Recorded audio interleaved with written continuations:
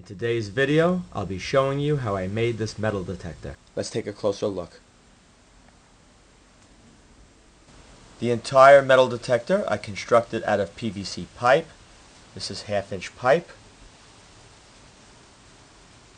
That's the sensing coil at the end. I'll give you close-up images of that in a second. That's watertight.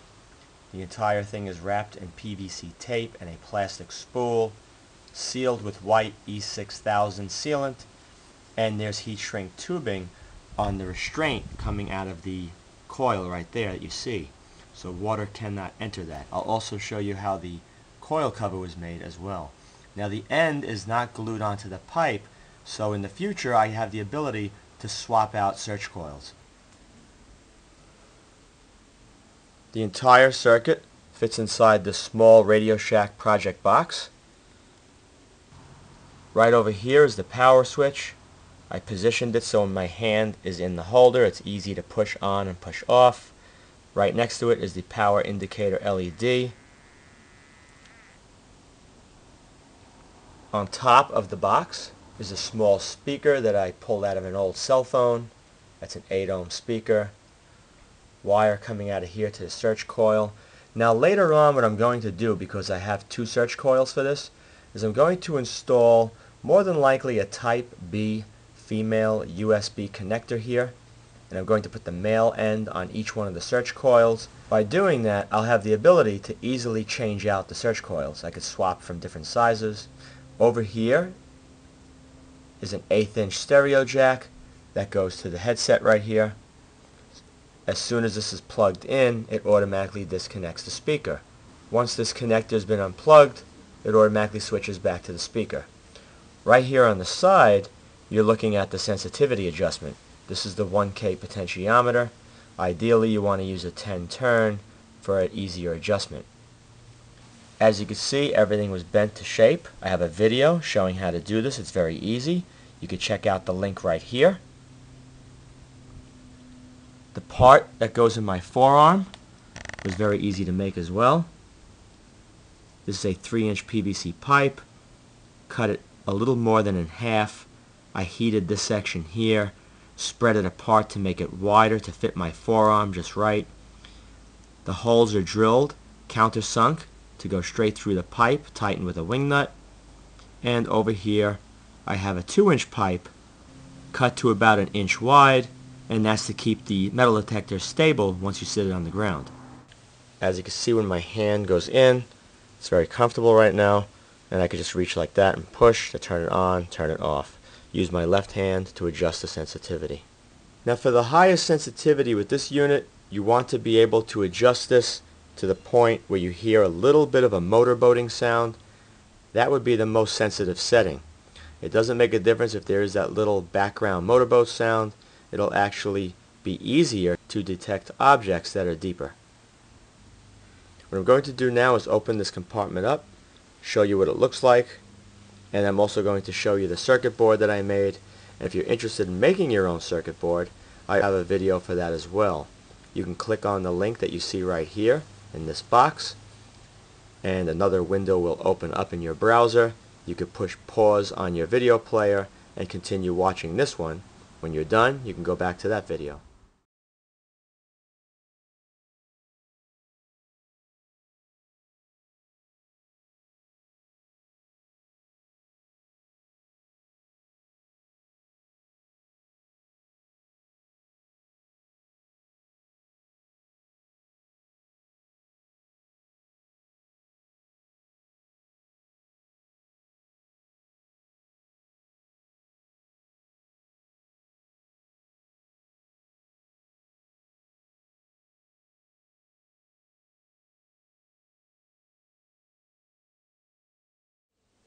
Alright, I'm going to show you how I set up my coil cover. Now what I needed to do to keep these clips from popping off like that was just make a slit in the side of the coil cover so when the clip is lifted up like this it rotates into the slot and it keeps the clip from popping off of the plastic like it would if it was over here. See it pops right off?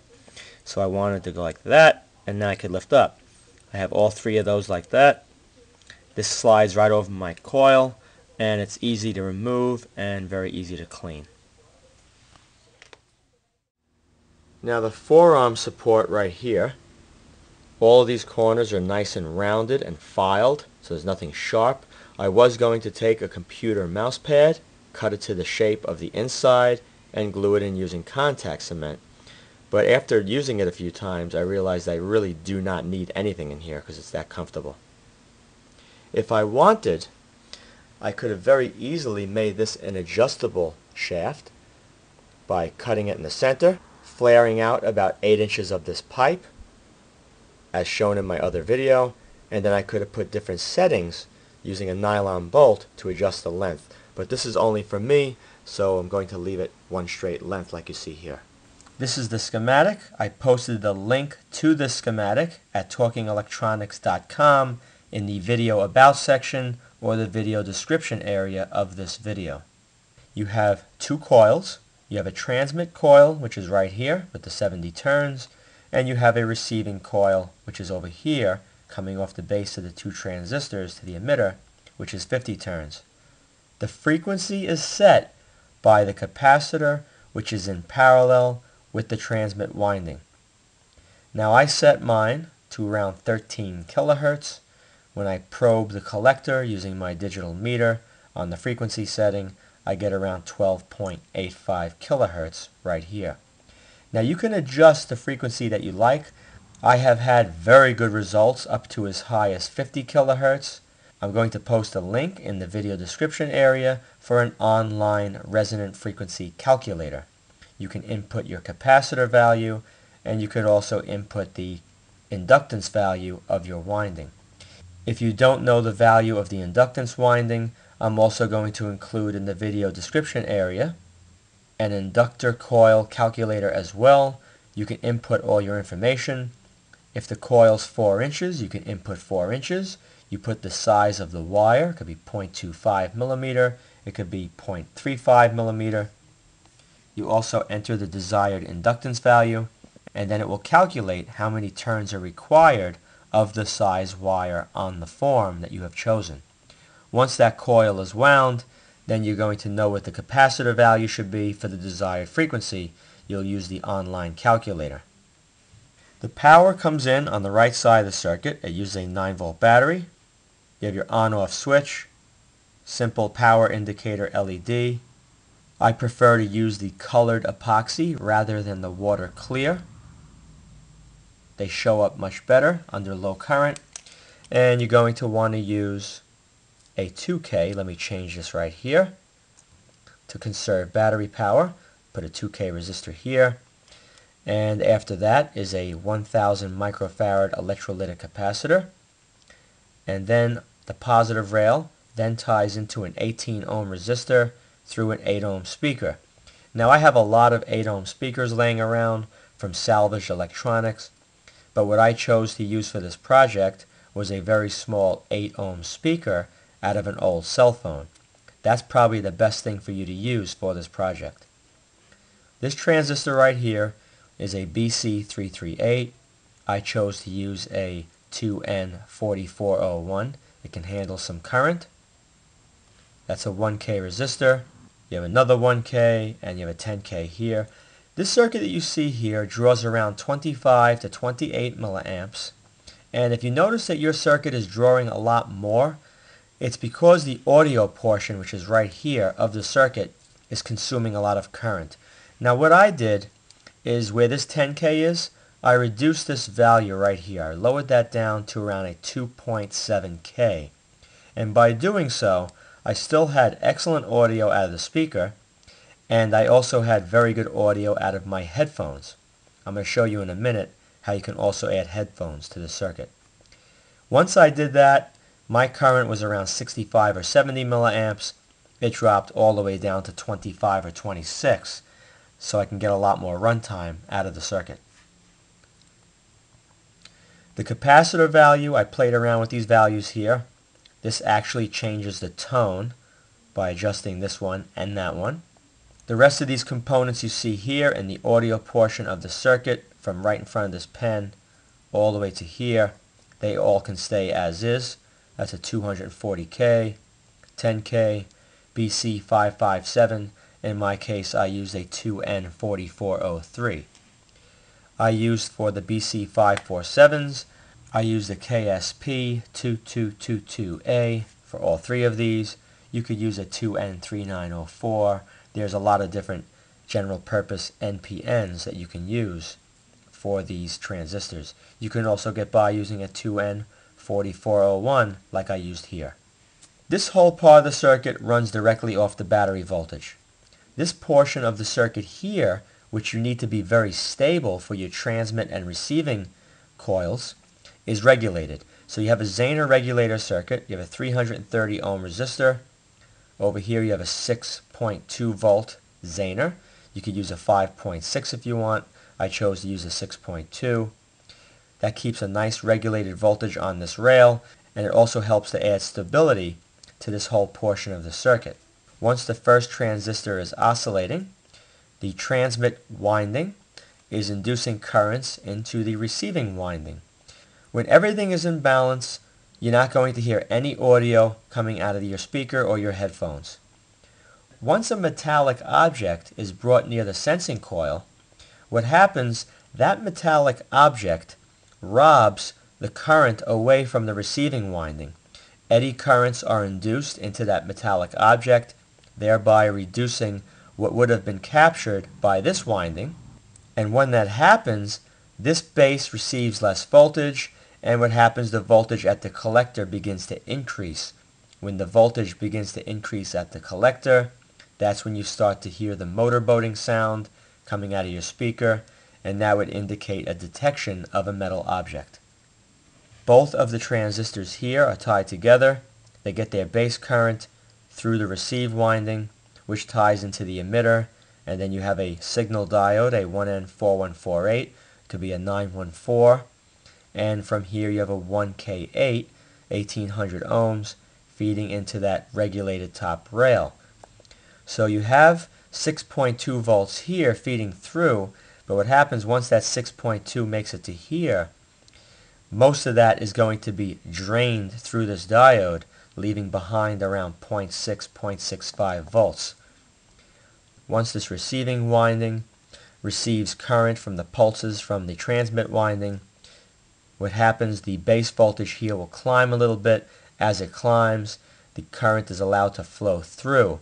When it flows through, the voltage here drops and then that turns off the audio, which means no detection. If there's a detection, what will happen, the voltage here will begin to drop, slightly turning off this transistor, causing the voltage at this point to rise. So it's very simple the way this operates. The sensitivity is adjusted right here with a 1K potentiometer. Ideally, for your sensitivity adjustment for this potentiometer, you should go with a 10 turn. It allows for a more precise adjustment of the sensitivity for the circuit. Now what I added from the base of these two transistors to the negative rail is a 470 k ohm resistor. And what that does, it adds a little more stability to the sensitivity setting on your potentiometer. Ideally, the circuit should be adjusted that when you hear a motor boating sound coming from the speakers, that is actually the highest sensitivity setting. Now I noticed that once you set the potentiometer to that most sensitive setting where it motorboats, that it may try and drift. And the drifting is caused due to temperature. You have temperature causing a, an effect on the diode as well as these transistors. So if you were to breathe on this circuit really hot, you would see that it would cause a audio output change. It is fairly stable, especially once it's installed in a project box. But I did notice that adding a 470k ohm resistor between the negative rail and the bases of the two transistors, it helps to control that drift. It makes it a lot less you hold the sensitivity setting a lot better. So I would definitely add between a 470K and a 680K between the two bases and the negative rail. And that is it. That is the extent of this circuit. It's extremely simple. The values are not supercritical on your transmit winding and your receive winding. I'm going to show you another coil that I made, which is a little larger, and I'll give you some measurements so if you would like to duplicate that. For the small coil that I made that was only 3 inches in diameter, I used approximately 26 gauge wire and I used 140 turns for the transmit winding and I used 100 turns for the receive. Once you have the circuit together, if you turn it on and it's not detecting and you can't get the sensitivity to adjust properly, take one of the windings and reverse the leads and that should resolve the issue. This is the other coil that I made, which later on I'm going to put a flat top on it and put the same fitting so I could slide it on and off my pole on my metal detector. I'm going to have another wire with a 4-pin connector so I can interchange the two coils if I wanted. This one measures 4 and 3 quarters across by 7 eighths of an inch wide. You can see how I wound it. Hopefully it's not blurry. Right there. The wider band is the transmit which I wound 47 turns of the 26 gauge wire. As you can see, everything is wound nice and neat and tight. The second layer, which is on top right here, that's the receive, and that has 35 turns. We're going to take a look at the inductance on the 35 and the 47. This meter is now on the 2 millihenry setting, so if it says 0.100, that means 100 microhenry. So let's take a look. Connect this to the 35 turns, which is the receive.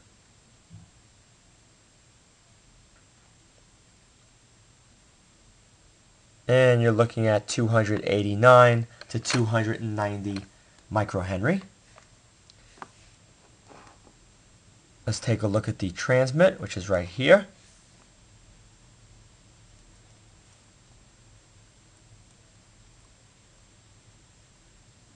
And 457 microhenry. So you know what the values are if you wind on the exact same form. And this coil does perform extremely well. I did test this out before I installed my other one. For smaller objects, the 3-inch one does a lot better, and the 3-inch coil also does a lot better if you're looking in between trashy areas. If you're looking for larger objects deeper, then this is the way to go. I suggest making both of them. Now I also wanted, in addition to the speaker, to have the ability to plug in a headset. And what I did is very simple. Here you see point A, which is right after the 18 ohms. What you have to do, I'm going to flip this over and show you, is you're going to take an eighth inch stereo jack. This is the diagram for the jack. Once the jack slides in, these two spread apart, disconnecting the speaker and allowing all the audio to flow into the left and right earphones that you're wearing. Now, you're going to tie the left and right outputs together because you're going to want to hear everything going on in both of your ears. Right here is from point A, which is the 18 ohm resistor, which is right here, point A. That would flow through into the left and to the right. If nothing's plugged in, the audio will flow right around through the arrow and back to the speaker again. When something is plugged in, this spreads apart, disconnecting the speaker, allowing it to flow into your headphones. This is the ground. The ground is going to have a resistor to reduce the audio. If you don't, it's going to blast your ears out. So definitely place a 200 ohm fixed resistor right here before this ties into the NPN collector which is right here. That part over here does not go to ground. That goes to the NPN collector. If you'd like, if you want to be able to adjust the audio level, you can maybe put a 500 ohm pot. I really don't suggest it. You really do not need it. I would just throw in a 200 ohm fixed and call it quits. So that's it. You'll have your stereo jack and you'll have your speaker and it automatically disconnects once the headphones are plugged in. What I'm going to do now is demonstrate how well my metal detector works using various objects. Alright, let me turn on the metal detector and adjust the sensitivity. Let's try a quarter. With the headphones on, you can detect changes in the audio. I could hear it there, it's hard for you to hear it.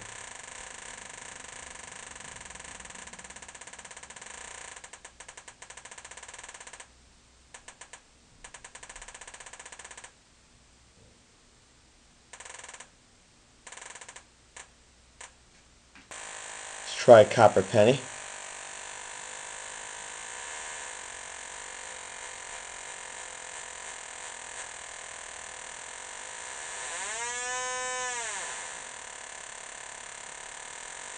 Right, right there it's grabbing it.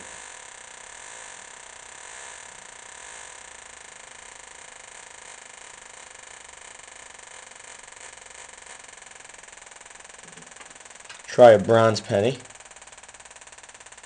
There.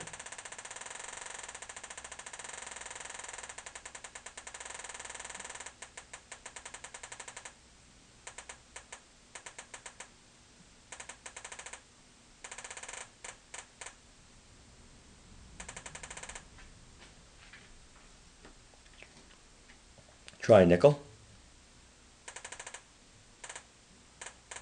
Let's turn up the sensitivity.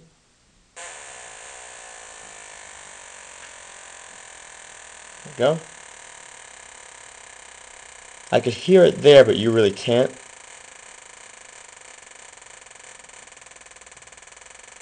Right there.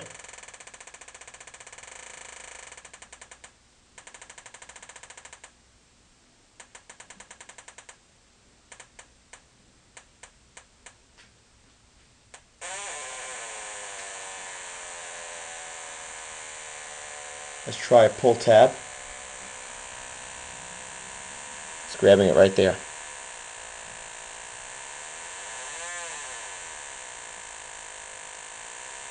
Right there.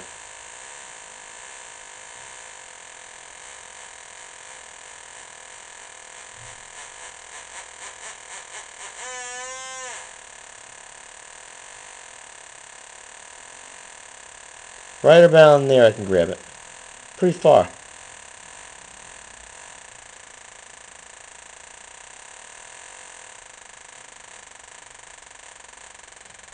Try an old pull tab, like this one. If you don't dig pull tabs, you don't dig gold.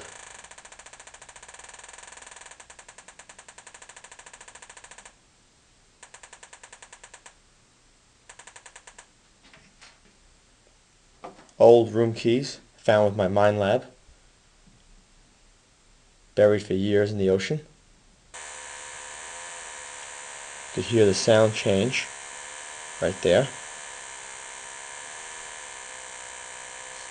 Speeding up. Speeding up.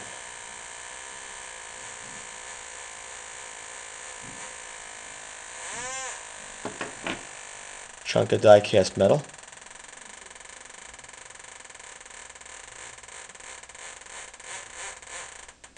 Right, right here.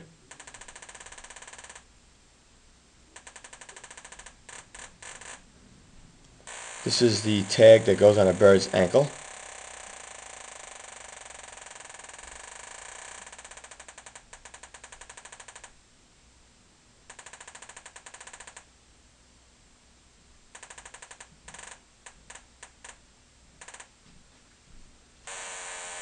An inline skate from a necklace.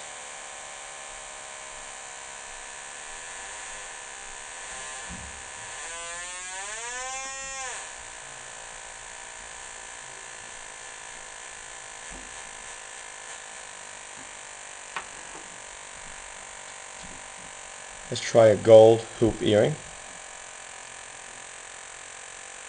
Speeding up, slowing down, speeding up.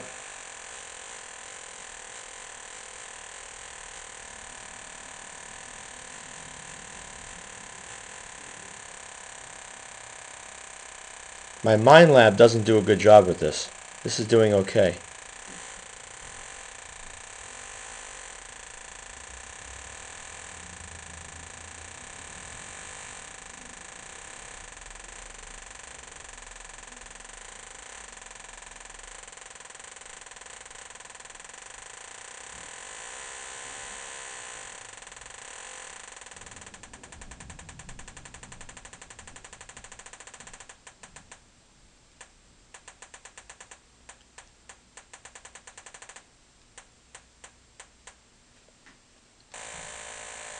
try this little gold bracelet.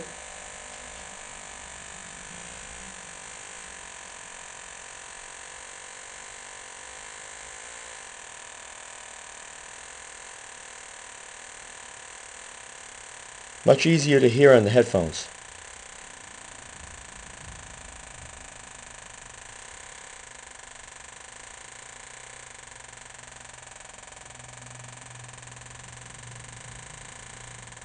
Ready to speed up. Right there.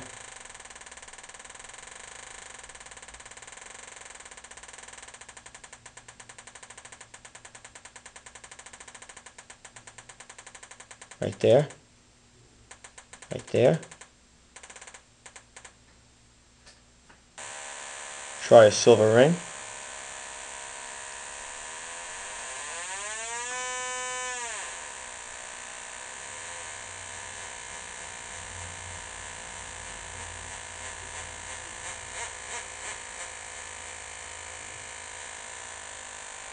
Try this tungsten ring. You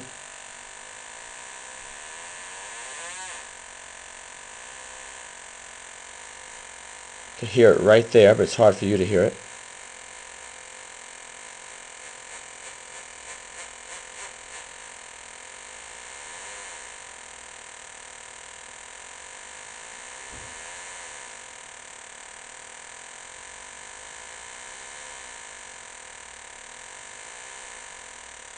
Small silver ring.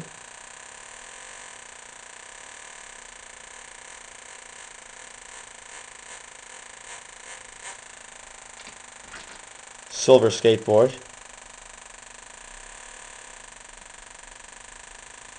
Speeding up, speeding up, speeding up.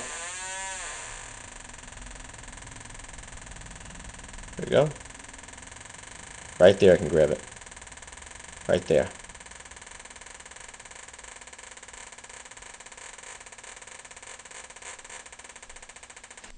Small silver ring again.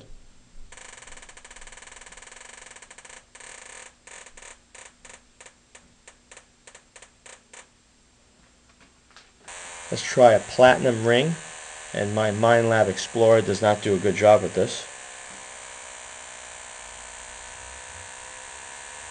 Grabbing it right there.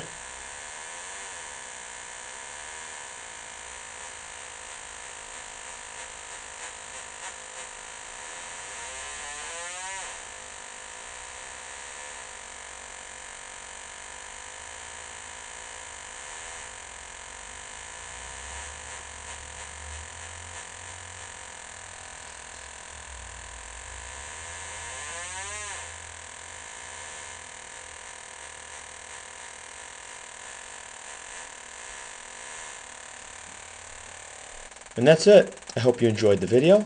Please rate it a thumbs up, subscribe, and post links to this video on other websites and blogs. Also be sure to check out my video playlist as well. Thank you for watching.